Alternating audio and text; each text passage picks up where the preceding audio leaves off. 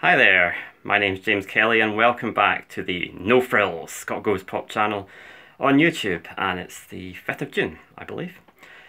So, uh, since the last time I posted a video on this channel, there's been the small matter of the biggest international crisis since the Second World War. But in one sense, it's like time has stood still because once again, with your help via fundraiser, I have an opinion poll for you.